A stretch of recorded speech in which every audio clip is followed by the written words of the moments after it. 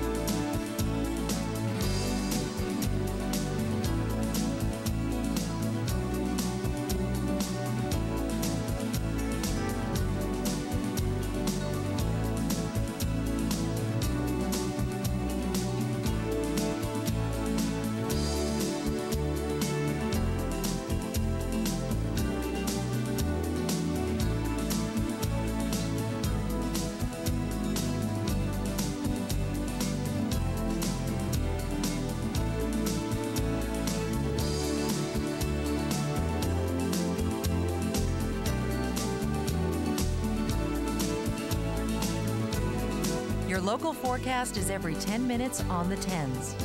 You can also visit our website at theweathernetwork.com.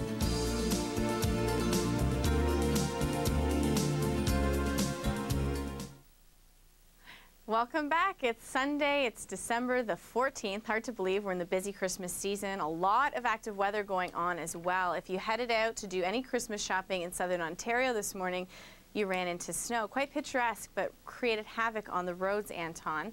And this same system, it's a nor'easter, the second nor'easter of the season, is making its way towards, well, southern Quebec and then eastern Canada. And we can expect to see a pretty messy morning commute in places like Montreal.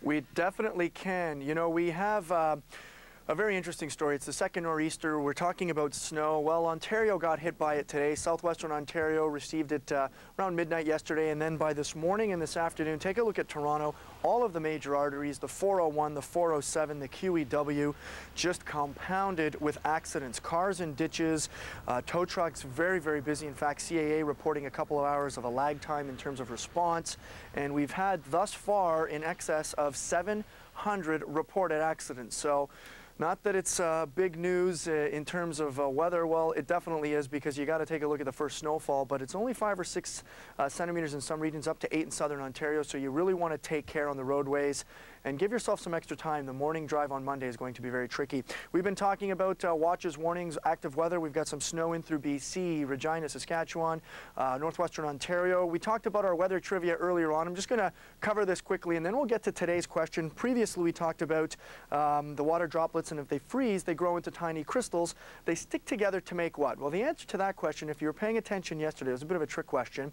The answer to that question is, of course, snowflakes, and there's been a lot of them over the last day or so. Your weather trivia for today, well, it's coming up in a couple of minutes, so we'll get to that. Right now, Nadine's going to talk about our national forecast.